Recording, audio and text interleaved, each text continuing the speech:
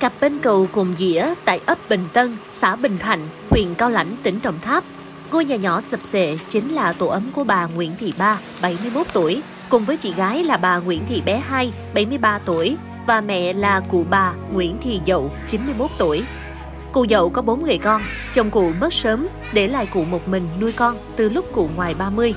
Cuộc sống khó khăn, cụ phải làm thuê đủ nghề từ cắt lúa mướn, cắt cỏ, rồi chuyển qua dệt chiếu mà cũng chẳng đủ tiền lo cho con.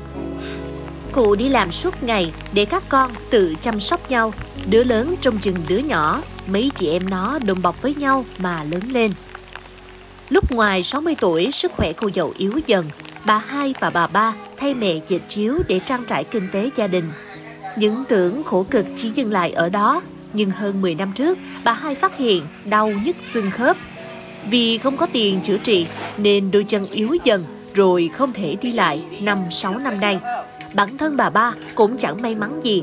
Năm 4 tuổi, bà phát bệnh đau ban, không đủ điều kiện chữa trị, khiến con mắt bên phải của bà bị di chứng rồi mù hẳn. Mừng hết nổi rồi, mừng chiếu cũng hết nổi.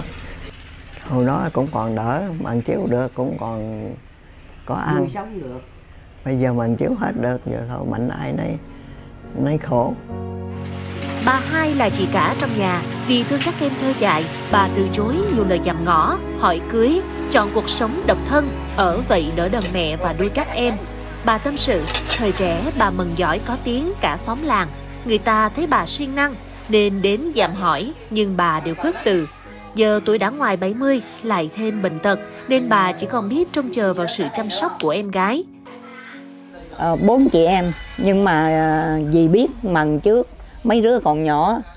Người ta người ta đòi à, cứ gì cho con người ta. Thôi, tôi thương em, tôi dữ lắm. Không có bỏ nó đi được. Má má của dì hồi đó bà hiền dữ lắm. Dì thương bá dì đi mặn à, ở đợi à, giữ em cho người ta ở thành phố đó. Mà nhắn người quen về kêu bác lên. Trời ơi, sao mà cái gì mà dì thương bác lắm hồi đó hồi gì còn nhỏ à, mười mấy tuổi hai mươi tuổi á. Số phận các thành viên còn lại chẳng khá khẩm hơn. Người qua đời vì bệnh tật người có chồng nhưng không hạnh phúc cuộc sống thiếu thốn. Chỉ còn bà ba tiếp tục làm tròn đạo hiếu chăm lo cho mẹ và chị gái. Nhà chẳng có tuổi xào ruộng làm vốn bà chỉ biết làm thuê sinh sống qua ngày. Trước đây, bà phù mẹ dệt chiếu tay, sau này cả mẹ và chị gái đều bệnh không đủ sức dệt chiếu, bà chuyển sang dọn vệ sinh ở chợ.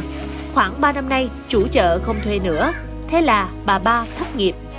Rồi bà chuyển sang mò hến, bắt ốc mà sinh sống qua ngày. Tráng lắm một ngày, bà cũng chỉ kiếm được chừng 3-40 ngàn, dù chi tiêu tặng tiền đến mấy cũng không đủ mua thuốc thang, đồ ăn, thức uống. Ánh sáng nước dòng à, vô trong chợ bắt được nhiều bắt ít tiếng đồng hồ cũng được bốn năm ký trong cái ký ngoài này không có hết. Bắt ừ, cũng ba bốn tiếng. Mà nhậm nước dông thì nghĩ không có bắt được. Nước dông là nước nhiều quá mình mò không không tới. Thì nghĩ nghĩ cũng mấy ngày nước dông rồi nước kém lại mới nước dòng nước ít mới, mới đi bắt được. Cứ thế năm này qua tháng nọ người con gái nhỏ hiếu thảo với mẹ và yêu thương chị gái năm nào giờ đã tuổi thất tuần. Bà ba vẫn miệt mài mưu sinh, chưa bao giờ bà để mẹ già và chị gái đói khổ ngày nào.